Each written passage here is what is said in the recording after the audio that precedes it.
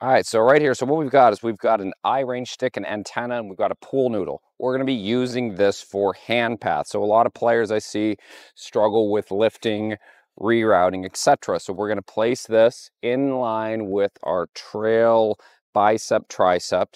And what we're going to feel is we're gonna go takeaway right here, lead arm underneath it, lead arm back underneath it. So we can do a slow one right here as a feel. So we'd go takeaway, trail arm under, under and let it go. And this would be one of the ways that you could train the proper hand path with really good feedback.